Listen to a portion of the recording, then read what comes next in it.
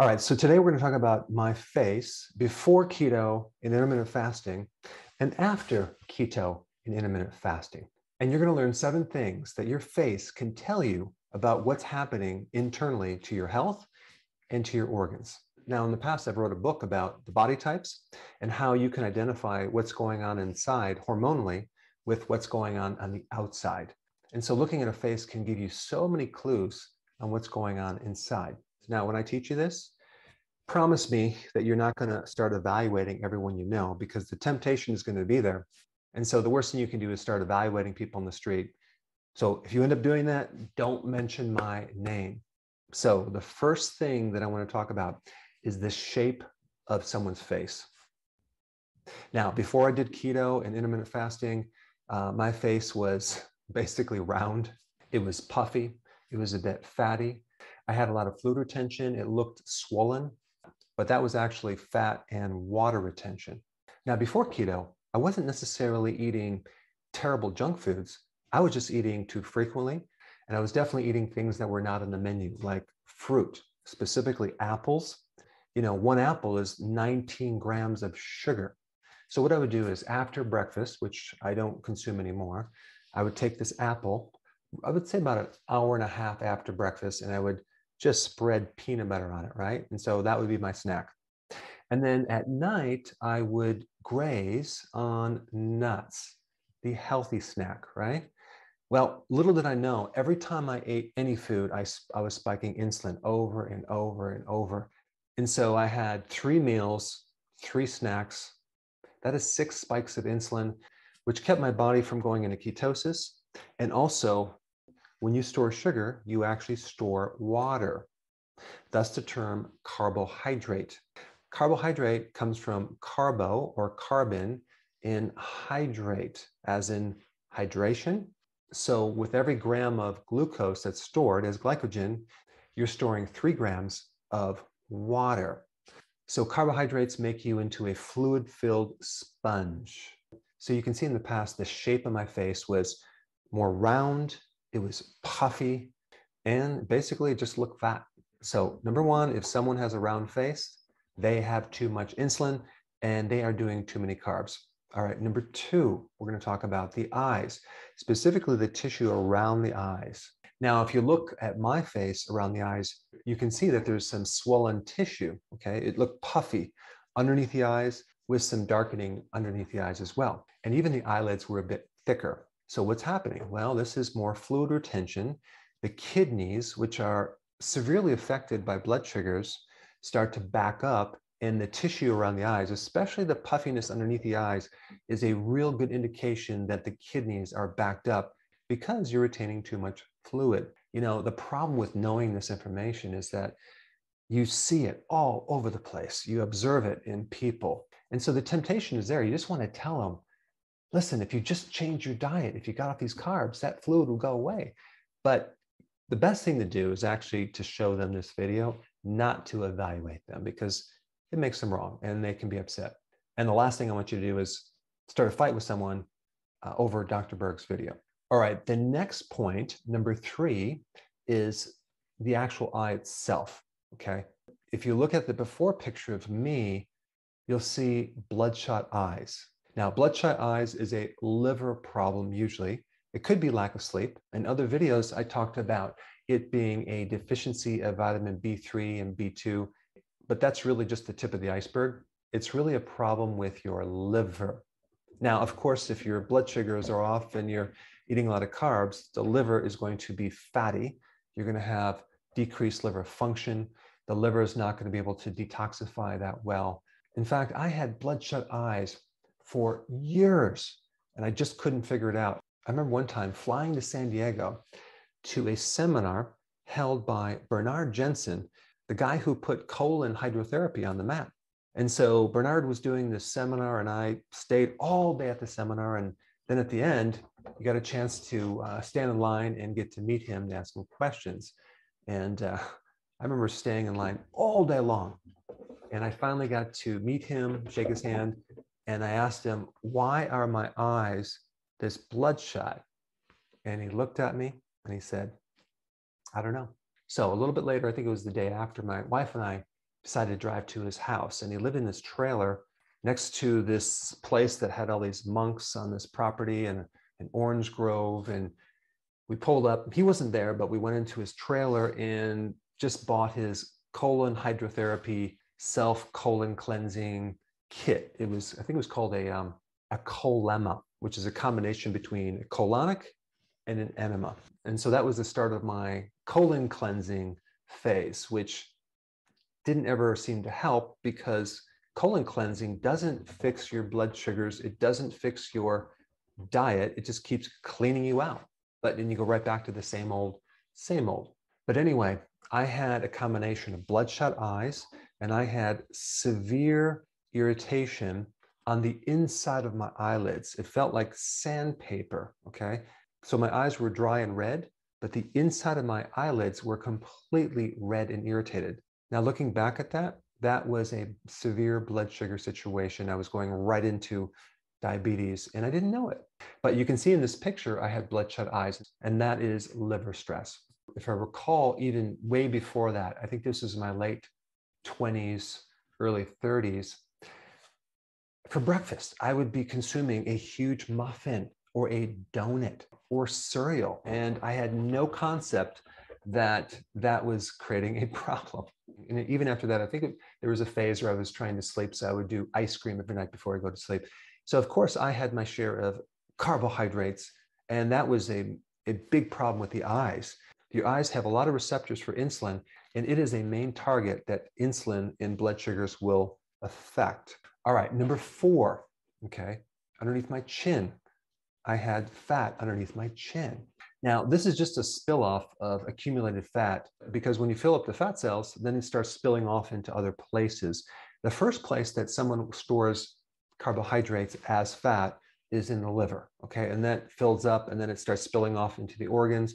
And so you get this little gut. And by the way, I had a pizza crust, okay, in my midsection. But as the fat starts building up, it starts accumulating in your face, underneath your chin, and that doesn't just affect uh, how you look, but that fat is also accumulating in the back of the throat and the back of the sinuses. And this is one of the reasons why people have sleep apnea and they snore.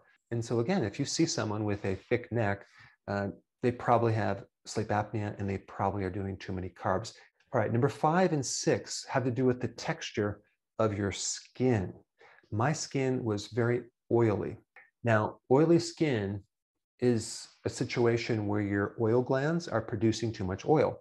They're called sebaceous glands, and the oil is called sebum. And so, what's behind that? Too much androgens. Androgens are the male hormone. Now, the question is why is the body making too much androgen? And the clue to figure this out is to look at a condition called PCOS, polycystic ovarian syndrome.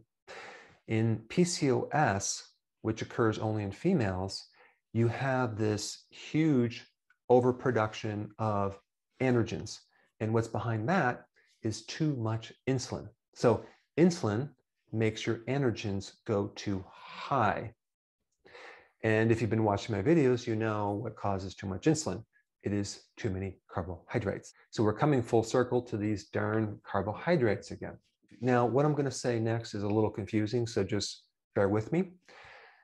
One of the minerals that they use in skin cream for oily skin is zinc. And so zinc is really good for your skin. Now, here's the confusion zinc also increases your androgens. Now, wait a second. I thought androgens cause sebaceous glands to cause more oil production. Why would we want to take more zinc to produce more androgens? Well, the answer to that is that zinc helps balance estrogen, okay? If you're low in androgens, it raises it. If you're high in androgens, it lowers it. It inhibits or blocks an enzyme in the conversion of testosterone to something called DHT, which is a powerful form of testosterone, which, if too high, can cause male pattern baldness and prostate enlargement. And alopecia, which is hair loss. So zinc helps balance estrogen, okay? And it's also really good for PCOS. And it's also vital in the regulation of insulin. Okay, so it can help lower insulin to thereby decrease androgens. Does that make sense? And as a side note, you become deficient in zinc when you consume too many carbs. So there's that relationship as well because too many carbs, too much insulin, zinc deficiency. And then you start producing too much of the wrong testosterone, which is DHT.